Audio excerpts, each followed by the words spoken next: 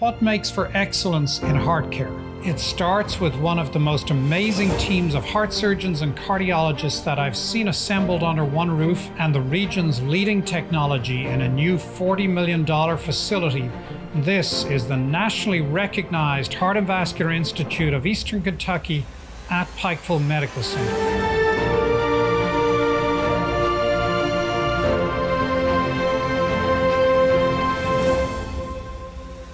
On Thursday, April 6, Kentucky State Police paid a visit to Mr. Gatti's for an Easter basket giveaway. Families in the area brought their kids to have a good time eating Gatti's buffet and receiving candy and toys. The event was done in partnership with a Ray of Hope nonprofit organization. Yes, so it's an Easter basket giveaway where we partner with the Ray of Hope, which is a nonprofit charitable organization uh, based out of Lawrence County. And we've been doing this, I've been doing it with them three years. Uh, they were doing it years before that, but we took a little break because of COVID. Uh, and then got it back going after after COVID kind of died down. Uh, so yeah, it's it's a great event. The kids come out here. Uh, we work at the Family Resource Center to find kids that would be most deserving and could benefit most from the program.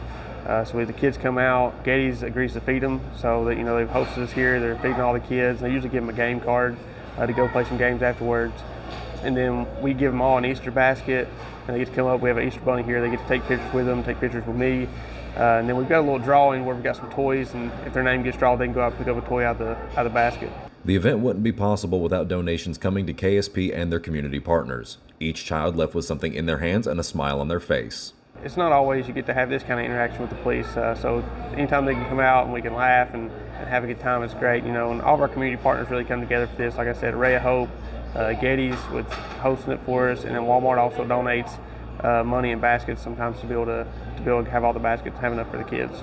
We're not able to do it without donations from community partners, uh, but there's not an actual fundraising event just for this. Most of our fundraising goes for like our Shop with a Trooper, Trooper Island. Uh, so with events like this, you know, it's donations from different businesses or different people within the community.